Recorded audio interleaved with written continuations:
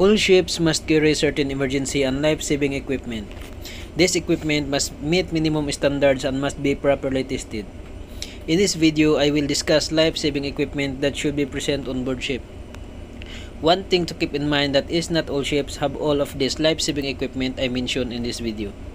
It depends on the ship's type, number of passengers and crew on board, and the equipment pertaining to safety regulation that determine the type and quantity of life-saving equipment available.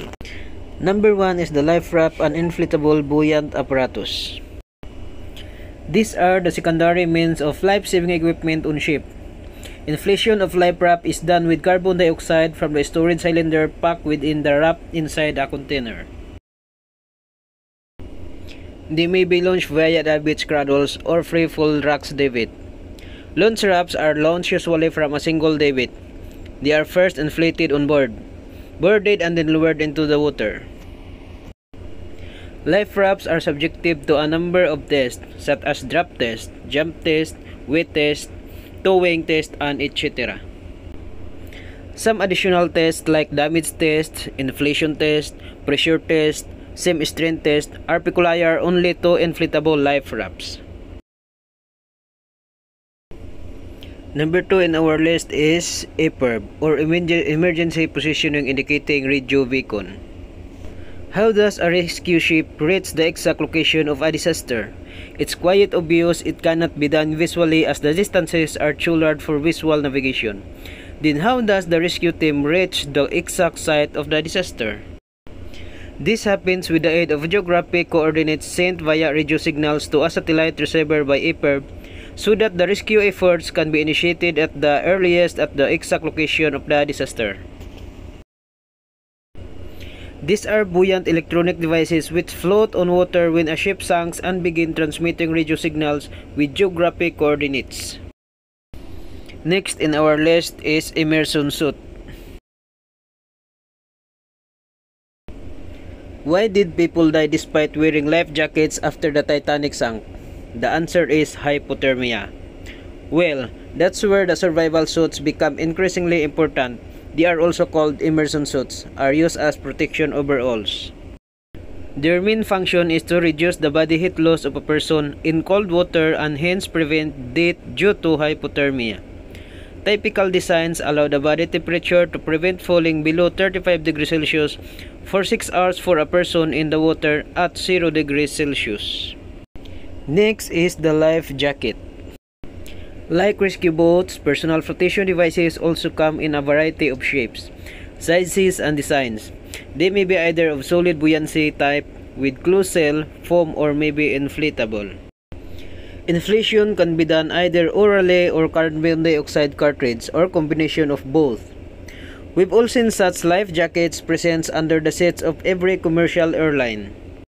Life jackets are fitted with whistles to grab the attention of rescue people as well as a light which illuminates as soon as it touches the water to help in easy spotting people in distress. Alternatively, a chemical light stick and a reflective material may be used. The life jackets are also subjective to various tests like temperature, cycling, buoyancy, fire, stability, and strength. These are the common life-saving equipment present in all small and large vessels. You may have spotted them even on the sides of swimming pools. They are fitted around the perimeter of ships where the deck and are meant to be thrown rapidly to a person overboard. Next is distress signals. As if you watch the movie Titanic, you must have seen the crew sending distress signals with the use of flares. Distress signals are typically parachute flares which can be spotted by nearby vessels and rescue personnel and determine the location of the ship in distress. Three rockets should be fired vertically. It must be ensured that the parachute flare's ejection happens after a height of 300 meters. Also, the rate of descent should not exceed 5 meters per second and should sustain burning for at least 40 seconds. They should also function efficiently when projected at an angle of 45 degrees to the horizontal.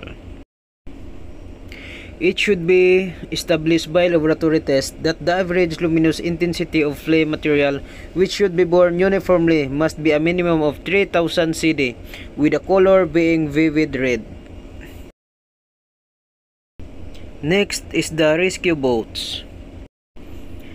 These are small lightweight boats designed with the objective of rescuing people in distress and towing the survival crafts such as life rafts and buoyant apparatus. They are designed as such to be launched in minutes and must remain stable when recovering a person in the water from either side of the boat. They are usually with launch and come in different shapes and sizes. The material used for construction is usually fiberglass with the addition of inflated rubber buoyancy chambers for extra stability. The last in our list is the lifeboat. They must be available in sufficient quantity and support the required capacity and size such that the total number of passengers aboard can evacuated from either port or starboard. This is done so that in case the ship is capsizing to one side, let's say port, the lifeboats can be lowered from the starboard side and everyone on board can be saved in small vessels. Such as harbor and river crafts, open lifeboats and semi-enclosed lifeboats are used for all large vessels. For all large vessels plying in oceans, totally enclosed lifeboats are provided. This is done to ensure better protection against the weather and sea. They are fitted with small diesel engines for self-propulsion at a speed of around 6 knots and carry fuel for 24 hours of operation.